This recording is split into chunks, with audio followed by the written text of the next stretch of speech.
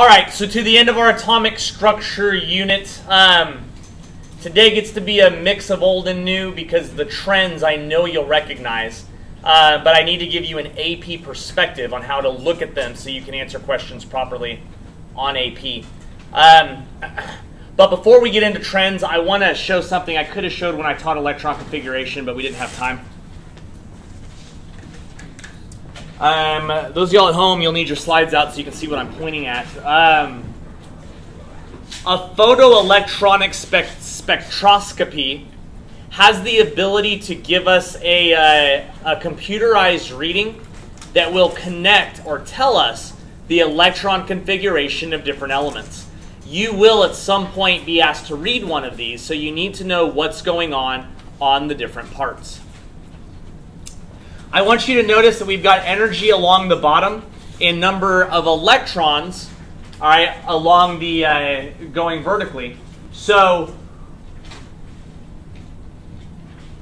we'll have a specific element that it pinpoints on a on a PES. In this case, it's beryllium.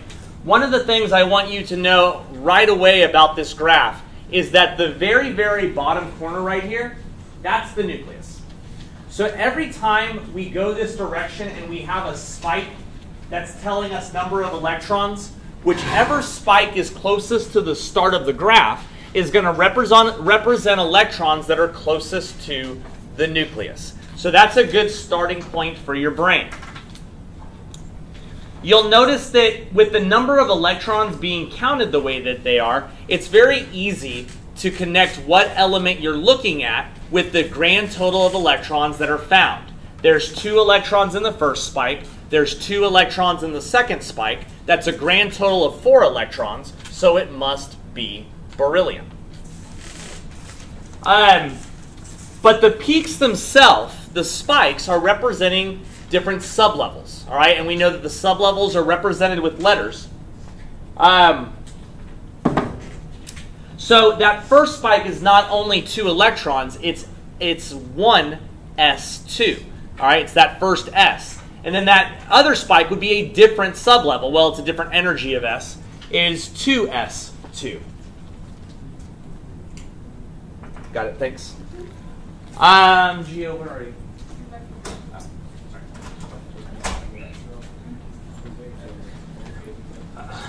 So anyway, so with that in mind, let's look at one that's a little more complex. Yes. No, no, that would that would uh, that would defeat the purpose. I mean, unless it gave you an element and told you to predict the next spike, but I've never seen them ask that. But I suppose that that would be in the scope. Um, so you'll notice that we've got nitrogen here all right, which we know has seven. So you can right away verify that this is representing seven total electrons. But I want you to look at spike 2 and spike 3. Do you see how they're close together? That is a general indication that they share an energy. So that first spike is energy level 1, 1s2. And then the second spike is energy level 2, 2s2. But the third spike is also energy level 2, which is 2p3. So since the energy levels are close to each other, they're both twos, the spikes are close to each other. So that is another common trait of PES. Yes? Okay, wait, so you said it was SSP, right? In this case, it is, yeah. So why aren't the S's close together? Because they're grouped together according to energy, not according to similar shape. Okay, cool. So the two that are close have both have energy two. All right? Well, what about the funkiest thing that you can see on one of these? So look at scandium. Now, right away, if we were to glance at scandium on the periodic table, you'll see that there should be 21 electrons. There are. But there's something really interesting that happens in scandium based on what should happen to represent the location of the electrons. See if you can find 3D1. Look at it the way that I looked at it start because we know right here we're 1s2, 2s2, 2p6. It's filling it up. Where is 3d1? Isaac. What number is above it? Oh, I, I'm going to go with 3.24 or 0.77. All right, well, it can't be 3.24 because how many electrons are at 3.24? There's six. There's so six. Gotta be seven. So why then, why do you think that 3D1 comes before 4S2 on the graph? Because of energy. Look, it's increasing in energy. So we know that energy level 3 right here has less energy than 4S2. Even though when you write the configuration, you would write 4S2 3D1. But when we graph it, or when we use a machine that's just looking at energy, it's going to have the 4 as the last. Not only that, we know that an energy of 4 is further away from the nucleus than anything that has an energy of 3. So it makes sense that the 3D is registering before the 4S, even though that's not necessarily how you've been taught to write it. Yes? So that's why I use the general. The question was, well, then why are the three and the four grouped by each other if you said they're grouped according to energy? And again, it has to do with it's this is a very high energy level three compared to a very low energy four, but you will never be asked a question from that angle the way that you just asked it. Is it 3.24 then? 3.24 is no, no. 3D1 is 0.77. Oh, okay. Well, because look, 3D1, it's the only one that actually only has one electron. So you're able to pinpoint it. My point is, is that if you were to write the configuration, you would write it last.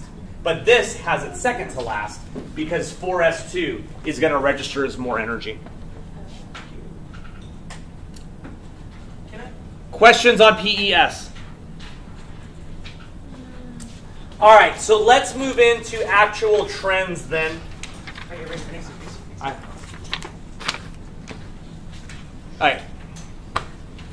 So, uh, back into some stuff that should be familiar. Before we do atomic radius and electronegativity, ionization energy, and all that stuff I've taught most of you before, I want to give you some, some hot words, I call them. Words that you want to be able to use on FRQs to really show the AP graders that you're a brilliant person with an amazing teacher. The three phrases are Coulomb's law, shielding, and, and effective nuclear charge. Now, I'm going to do the next two in a moment. We'll start with Coulomb's law, but these are three ways to prove the trends. Last year, you were just asked to know the trends. All right, where which direct, which element's bigger than what element? All right, but now you need to be able to explain. Well, why? Why is that element larger? And it's those three words that explain it. Coulomb's law is this equation. Now, you will never ever be asked to write the equation. You'll never be asked to decipher the equation. You'll never be asked to calculate with it. All right? But I can use the equation to show you why Coulomb states that the trends behave the way they do. The F here is the general attraction. All right? So looking at the attraction of uh, that, that exists within an atom. The two Q's, that, that's a constant value, who cares? The two Q's refer to the overall charge of the nucleus, the protons, and the overall charge of the electrons, all right? You know they're attracted to each other because one's positive and one's negative. Sorry, I didn't mean to leave this off. Um, one's positive and one's negative. Um, but what this is saying is that if Q, if those two Q's have a greater charge, then they're even more attracted to each other. So they're both at the top of the equation. The greater the attraction is, uh, or the greater the charge is, the more they're going to be attracted to each other. We're talking about the protons in the nucleus to the electrons that are hanging out on the outside. But the R, the number that you would divide the value by, you won't have to, is the radius, the actual distance. Coulomb states that if the electrons, or rather the further the electrons get from the nucleus, the less the attraction is. That makes sense. You've played with magnets, right? If you have those magnets real close, they're super, uh, they're super sticky, all right, attractive. But the more you pull them apart, they start to even they, they eventually don't even know that there's another magnet in the room, right? So Coulomb states that the larger the charges of the protons and the electrons, well, the more they'll be attractive. But the further they are away from each other, the larger the radius, the less attraction there will be. And you'll see as I go through the trends, I can pull back to this idea and say, and Coulomb's law supports this idea. Coulomb's name is an anagram for Columbus. So let's start. Isn't that interesting? There's a atomic radius increases as you go down and left. The arrows I'm drawing are pointing towards the increasing direction on the periodic table. But why? All right, that's fine. We could say francium's the biggest element. Why? Why is he so large? All right. The reason this exists is because of what's called shielding. All right. Let's say, for example, that I was a proton and Jacob was an electron. All right.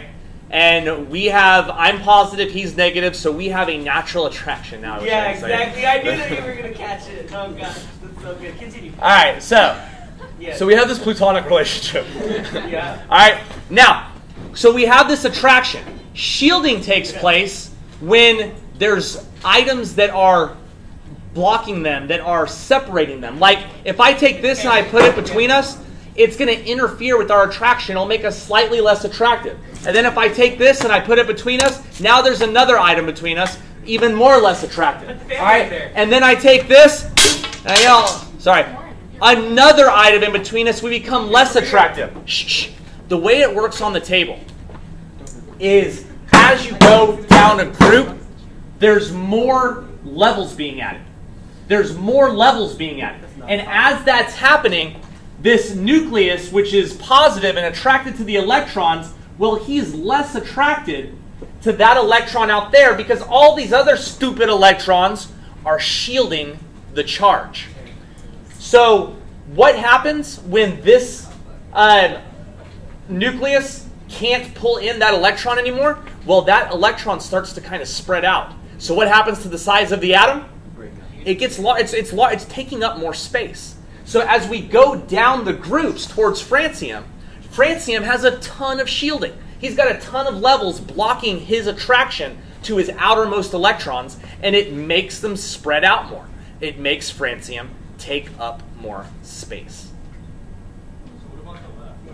That's my next one, man. Got you. It is. It is because every time you add an energy level, it adds another level of shielding. Yes, because every time you add an energy level, this is what's happening, right? Now, Coulomb's law also supports this idea. He doesn't use the word shielding, he just uses the phrase radius. He just says if the distance between the valence electron and the nucleus increases, the attraction decreases. I'm telling you, if there's less attraction, then it's going to be a larger molecule. Because the only way it would be a smaller molecule is if the protons were able to pull in those electrons. But he, it's too far. The radius is too big. Coulomb says a far radius is going to end up being a big atom. Who was the first person to like Dylan asked, what about left to right? Not every time, only when I understand the exact basis of the question you're asking. All right. So why do they get smaller this direction? Right? That's what my trend says. They're getting smaller that direction. All right. Well, think about this. Think about this. As you go across a period, you're not adding more levels, right? You're not adding like if, if we start right here and we're going across a period, we're not adding more energy levels. We're staying. We're just going straight across in what we already have. So we're not adding more shielding. Shielding doesn't change left to right. The only thing that happens left to right is an increase in protons. Look, left to right. Isn't that true? As you go across a period, we're throwing more protons into the bag. What do you think that nucleus can do if you start loading his bag full of protons? He can Pull pull in. harder. He can pull. Oh my God! I got it. He can pull everything. He in. can pull harder on those electrons. So as we go across this direction, the proton, the nucleus, is getting stronger. We call that effective nuclear charge. Effective nuclear charge increases as we go left. I'm sorry. Yeah, that was your left. As we go right across the table. All right, which gives them the ability to pull harder on the electrons. And if you're pulling harder, your atom is getting smaller because the electrons are being pulled tight. I'm sorry? It increases as the protons are being added. So, here's what you want to do as you move forward with this idea. All right? Coulomb's law can apply to everything based on the way the equation is set up. shielding is going to increase as we go down, while the effective nuclear charge is going to increase as you go inside because that's where protons are being added. Why does shielding increase down? Because you're adding energy levels. Why does effective nuclear charge increase this way? Because you're adding protons.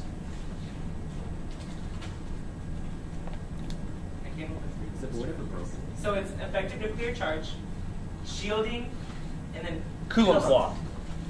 Those are our hot word, our big AP words of the day. already did. Captain America. All right, so is that a question? Oh no, I'm just wondering if the board's ever broken. No, it's good. All right, shh, shh. Got an effective nuclear bomb. Now, ionic radius makes us think a little harder. It turns out that everything we've talked about so far is based off neutral atoms on the table. Well, what about when they have charges? This is a bit harder because the trend becomes a little fuzzy. Now, the basic thing that we have to understand is what makes an ion an ion. So if you have a cation, you're positive. What did that atom do to become positive? it loses electrons. it lost something. All right? It lost something. So if you're sitting there and you're wearing like a bunch of coats and you take a coat off, have you become larger or smaller? Smaller. Smaller. So that's the reason that in general, shh, shh, cations are smaller than they are when they were neutral because they had to get rid of something to become cationic. So then on the flip side, anions would be larger because be, to become negative, you had to gain a particle. Now you've got more than you had before, so you should take up more space. Now, while I hope that idea is simple, I can muddy the waters even a bit further. Oh no. Thank you. Uh, it's changed. I want to make swamp water. Just make American water. So here's the deal. If I give you two ions from the same family, like I compared the ions of two alkaline earth metals, beryllium and strontium, this trend is good. It works. You don't have to think hard. But if I give you two different families, you have to think in terms of isoelectronic. Two elements that are isoelectronic have the same number of electrons when they become ions. Wait, what did I just say? They have the same number of electrons when they become ions, so it's like they have minus one plus one. So it's going to be like lithium and lithiide, or right? That's what it's called. No, you don't do that to cations. But anyways, um, here, here's what I want you to find. I want you to. I want you to look at calcium, and I want you to look at sulfur. That's what I was saying. Find it on the table. That's what I was saying before. We need to figure out reading. Yes. We're going to go with three d6. Now, it turns out shh, shh, that for calcium and sulfur to become these ions, what element do they become? Which element on the table do they become kind of identical to? Argon. Oh. They both become argon, basically, in regard to their electron count. I want everyone to verify that that makes sense. Minus two plus two plus two. All right? Sulfur is moving up two squares to argon. Calcium is dropping down two squares to argon. Do you agree? Verify. Yes, I agree. I'll say it again. For them to become ions, calcium has to lose two electrons, which makes him move down two squares, which is where argon lives. Sulfur has to gain two electrons, which would make him move up two squares to also where argon lives. When you're asked to compare the sizes shh, of two ions from different families like this, you have to think in terms of proton count when they are isoelectronic. Because remember, it's the protons that have the ability to pull in the electrons. We're now in a situation where we have the same number of electrons. The only difference between these two ions is the proton count right now. They both have electrons like, like argon, but they have protons like their regular element. Therefore, who's smaller? Sulfur. No, calcium is smaller because it's having to go minus two. Calcium is smaller here. It's a cat. They have the same number of electrons, but who can pull harder? Sulfur. Cal- calcium, Oh. because he's got more protons. Wait. So calcium's going to be pulling harder than sulfur, and that makes you smaller if you've got that nuclear charge. The reason I'm making a big deal about this is because if you apply this trend to calcium and sulfur, you might get it wrong. Yes. Uh, so the smaller it is, the more protons it has? Or no? No, don't draw. Don't go try to draw other absolutes because there's things that break it. I'm just saying that if they're isoelectronic, you want to look at the figure. I mean, you find out they're isoelectronic by seeing that they would equal the same noble gas when they become an ion, and then whichever one of those two, if we're in this situation, has more protons, will be smaller, Wait, why is it smaller again? I know you explained that. Like eight times. Oh my god, it's smaller because they will pull faster, pull more. I'm telling you that if you follow this trend, you would probably guess that sulfur's smaller. But since they're isoelectronic, they have the same number of electrons, just like argon when he get lost two and he gained two. But now calcium has more protons in his nucleus. That may, gives him the ability to pull harder than sulfur can. Do you agree that calcium has more protons than sulfur? Yes. Okay. So the moment you've got more positives, you can pull harder. That makes you smaller if you're pulling in the outside of your atom. So you can think of the protons as arms, and the ar- like more arms you have, the more ar- like more you're able to pull in. stronger, they're just smaller. The protons have a stronger charge, making the atom smaller. Because it's got because remember, pro- positives and negatives are attracted to each other. So if I fill this fill this room with a million positives, I can pull in a lot more electrons than if I only have one positive. So he's got more positives. He's going to pull his atoms in. That's going to make him tighter and smaller. You make it say that they're arms? You've got 60 seconds before I draw cards. We're, we're not going to do the very bottom one. We're skipping the bottom one. It's a it was a misprint.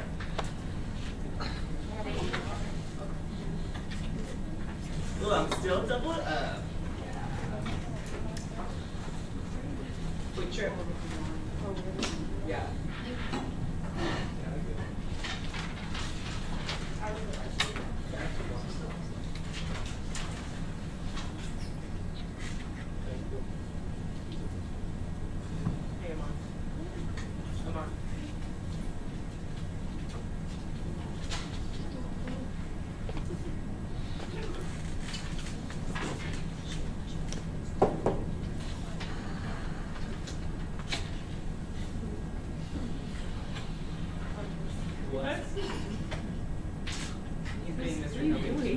I put it right up to the camera. It was cool.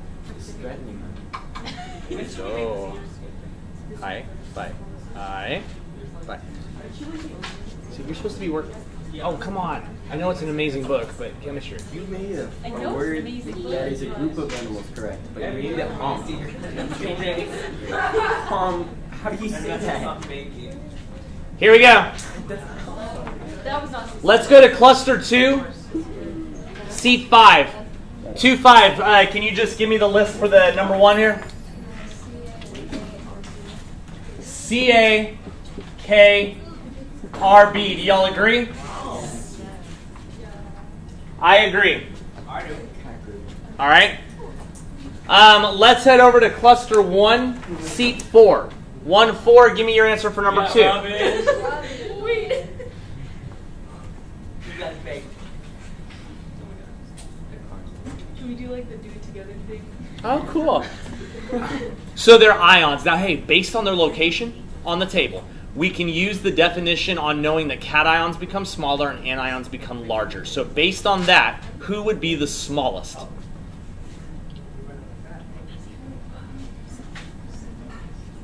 Remember, getting rid of particles makes you small.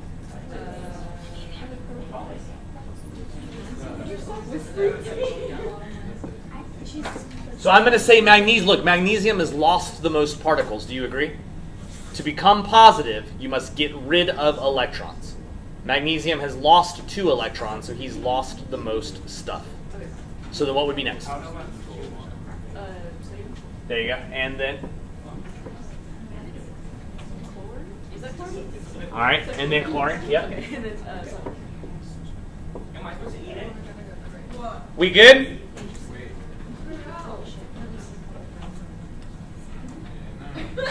It's just based off what they Yeah. So, because that's like, that's plus two, and that's. Right. He's lost the most, and he's gained the most, so he'd be the biggest. based on their location on the table, though. Let's go over to cluster two, seat five. Isn't that fun, Reagan? What that mean again? Totally. Hey, uh, number three. But this uh, is iron larger when it's neutral or an ion? Is that saying like the protons when it's neutral or Well, when it's neutral is just when it's on the table, and then when it's an ion is when it's gained or lost particles.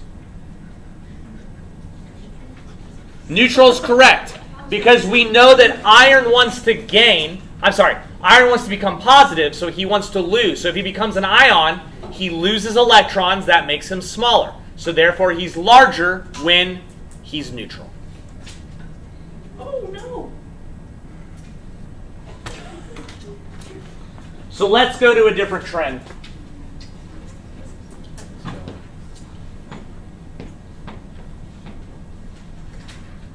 Electronegativity is going to increase right and up.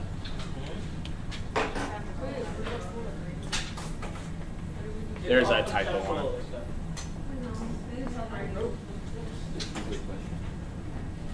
Kathleen, stop. Anybody else being bad? Uh-uh, I've been paying attention. I'll do it with them. You know I'm paying attention. Like, All right. shh. Hey, electronegativity is kind of like tug of war within a molecule. All right. It's where we've got the different the electrons that are being shared in a molecule, and they're both trying to pull on them. Whichever of the atoms is more electronegative is the one that will be winning the tug of war. All right, pulling the electrons closer to him. No wonder there's so much stuff in the world. Even our atoms are fighting. Mm. Electronegativity increases right and up. What is the most electronegative element on the table?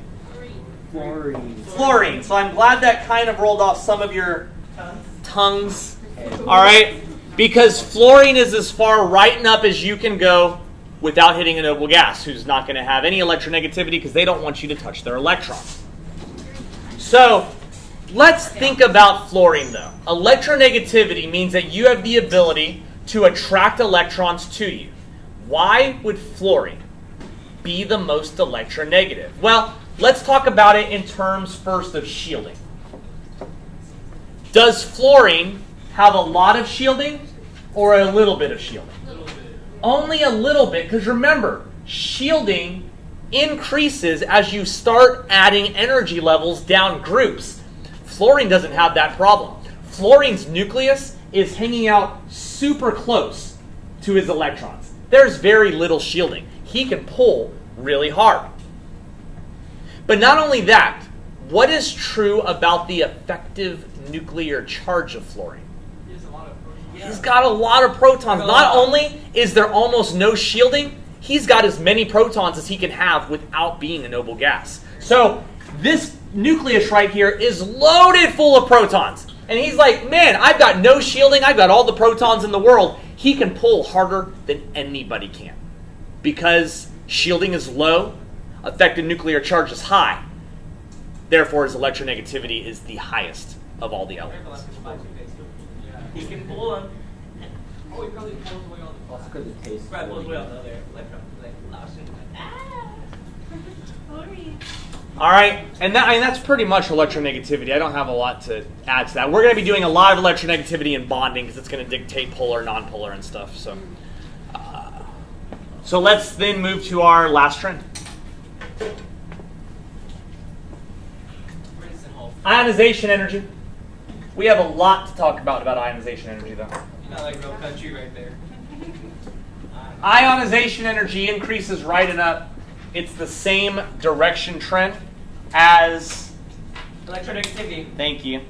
Period. Who? I E N E. So, ionization energy refers to how much energy it takes to remove an electron. All right? If the ionization energy is really high, that means it's super hard to remove an electron. If it's really low, that means it's easy to remove an electron. Let's go to the other side of the table. Let's go to francium. All right? So I'm going the opposite trend. So if we go and we take a look at francium, you would say, well, in pre-AP, you would tell me he's got a very low ionization energy. Well, that's true, all right, because he's uh, left and down, so he would have a very low ionization energy. Now I want to know Why? Why is it so easy to steal from him? All right. Well, what is true about francium shielding? It's ridiculously high. Oh my goodness. Look at all these levels that francium has. Right? His nucleus is hanging out right here, and he's got all these levels shielding, blocking him from these valence electrons on the outside. This would be like if you at home you stored your most what, what, what's, what's your biggest valuable? What's your favorite thing? Oh, I know. You know what mine is. your laptop. Here's where you decided to store your laptop. My stuff, my Irving. in the alley. You didn't store it you didn't store it downstairs you didn't store it in the backyard. You stored it all the way in the alley behind outside so far away. What's going to happen to your laptop? It's gonna get it's going to get stolen Like Batman. It's super easy What kind of idiot would do that? I would've Francium. francium is an idiot though Francium doesn't have no he had to go to court No game. um, He has to have all those shields. He had to do that thing where you point to the doll to say where it. I was just kidding. It's dramatic. Stop, uh, no, it's not that good. Uh, Um. No, no, what he said. That was terrible. anyway. Wait, what about the doll? Wait, there's a doll being uh, raised? no. Oh, no. Isaac. Demonetized. Anyway, so the ionization energy is super low because this electron is easy to take. All right, this, he's so shielded, he's not attracted to the nucleus uh, barely at all, so it's easy to grab. And then, of course, this trend works the opposite direction towards fluorine. Very difficult to take fluorines because there's no shielding there with so many protons. Oh my god, that hurt so much. I just dislocated my neck. But why, if he has so many shields, why is it so easy to take stuff from him? Like, he should be protected. No, no, no, no, no, because you're not taking stuff from down here. You're taking stuff from the alley. Like a hit and. But, like, can't they just, like, just, like, break that shield? It's like, so it's like a real life. You're not trying to get into these inner shields. When we talk about ionization energy, it's taking valence electrons, which only looks at electrons that are on the outermost shell. How do you determine what, how many shields there is? It's a, basically every energy level is the simplest way to look at it. You won't be asked to look at it in any more dynamic way. All right, so here's an ionization energy question that you will definitely run into on the AP exam. They always ask a version of it, so listen. Yeah. This gives you, instead of just asking about the general trend, this gives you values. It's like, hey, w- I don't want to know if it's easier to take from him and him. I want to look at how many kilojoules it takes to actually steal the electron. I want you to look at the three values it gives. I want you to quietly compare them together. Okay. All right? Draw a conclusion in your brain about where there's an anomaly. In your brain, I knew you couldn't handle it. Multiply by two to square it. What do you put? What? Where is the most interesting change between levels? Two to three. Why? Yeah, two to three. Look at that. The one to two is a change. It's about twice as much. But what's the change from ionization two to ionization three? A ton. It goes from basically 1,800 to 15,000. Now, here's what this is. The energy level, the IE1, is the amount of energy it takes to remove the first electron. The ionization energy 2 is the amount of energy it takes to remove the second electron. And the ionization energy 3, the third electron. What do you think this tells you about beryllium? Since it takes a ridiculous amount of energy to remove the third electron compared to the first two. The protons, because they're pulling so hard. What? Really high. Yeah, people- What's that? No, less protons, so it's not. There's less shields. There's. Now I'm glad that your y'all's brains are so wrapped around those words right now. There's only Like cool 'em, cool 'em. Columbus. This must Captain America. There's only two valence electrons. Oh. Well, Those first so two electrons were kind of easy to steal because they were on the outside. Oh. What's that third electron? Look, it's beryllium. What is the third electron in beryllium? He's eight. It's an inner shell Yeah. electron. Beryllium only has two valence. So once you take the two valence, if you try to take a third one, that is a core electron. It's almost impossible to do it because we never talk about stealing Oh. inner shell electrons, right? So, Whoa. Yes. so one, two, three. Those are the robberies of the electrons. Those are the order that it's taking electrons, starting with the valence and working its way in. He have four electrons? He does. He does. So there would be an ionization energy 4 also, and it would be even higher than ionization energy 3 because 3 and 4 are core electrons, inner shell, that beryllium doesn't give away. Are the kilojoules like uh, the amount of power it is to The amount of energy it, it's, it is the ionization energy. So it's the amount of energy it takes to remove the electron. What did you say? Oh. So here's what questions could do. Instead of it saying this is beryllium, and then you saying, oh yeah, beryllium has two valence, the numbers make sense. What it could do is just give you a list of ionization energies for an unknown atom and say, what element might this be? And really, what your job is, is to compare the data and see where the spike is. Because wherever there's a spike will help you indicate how many of the electrons are valence. And then you can pinpoint what element is what element. Because it will always be a huge spike once you get to the first core electron. I need the Motex.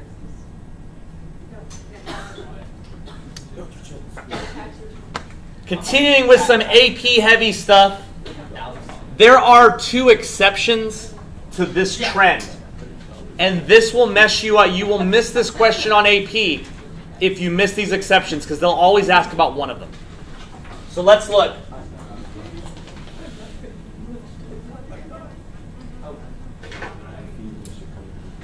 The first exception takes a look at beryllium compared to boron, which is basically comparing group 3 to group 13. All right? It's just using these two elements as an example. Oh my god, I'm sorry. Three. My bad. Two. Okay, I'm gonna Okay. I'm going to draw the orbital notations for both of them so I can show you why these will be trend breakers. So beryllium goes 1s2, 2s2. While boron goes 1s2, 2s2, 2p1.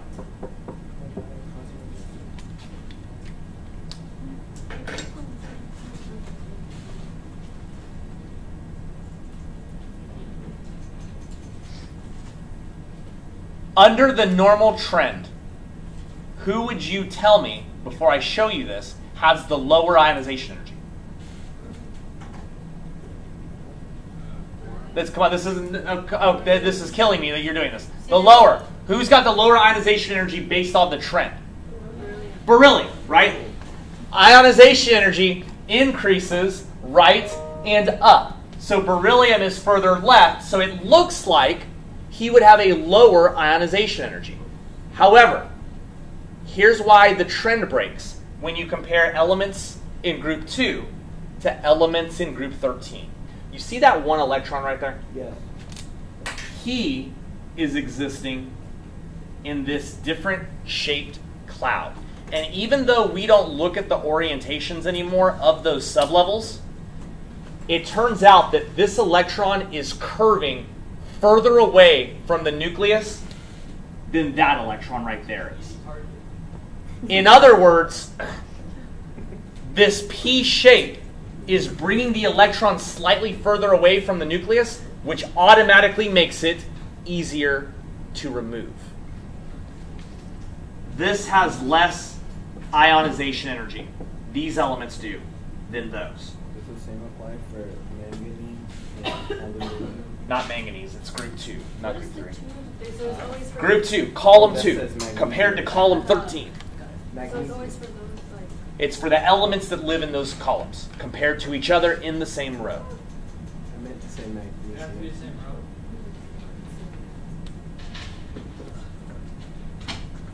That's one of the exceptions.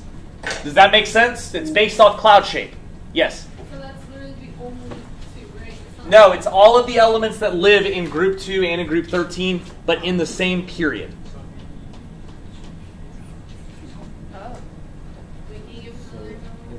Okay, uh, magnesium and aluminum.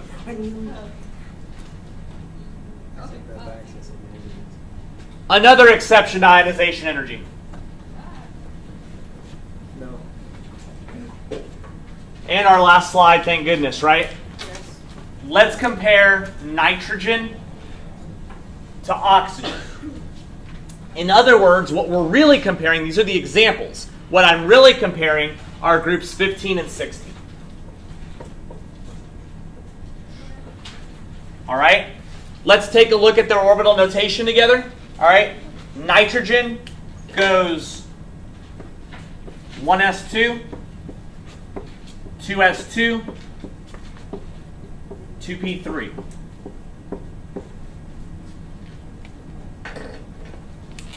Oxygen's got one more, so 1s2, 2s2, 2p4.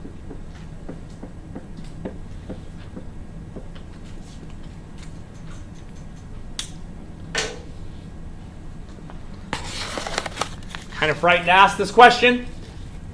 Under the normal trend rules, who would you expect to have a smaller ionization energy? Nitrogen. You would expect nitrogen because he's further left.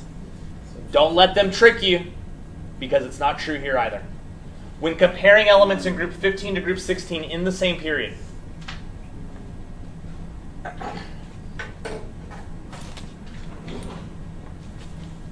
if we look at this electron, which would be the one that be would that would be removed in nitrogen, and compare it to this electron, the one that would be removed in oxygen. What's different about these two electrons compared to each other? One isn't completing the other. Right. So what would be true about this association here? They're both electrons. What's true about two electrons? They. They hate each other. They hate each other. They're both negative. Here's what we have. In this orbital, we just have one electron hanging out in a very stable form. But in this orbital, we have two electrons desperately trying to get as far away from each other as they can. Therefore, since this electron's already trying to escape, he's easier to remove. Less ionization energy. Oxygen has less than nitrogen. Now, the trend is true everywhere else. The only exceptions are these two specific groups that I've listed here in your presentation. Sorry? The, yes, 15 and 16 compared to each other in the same period.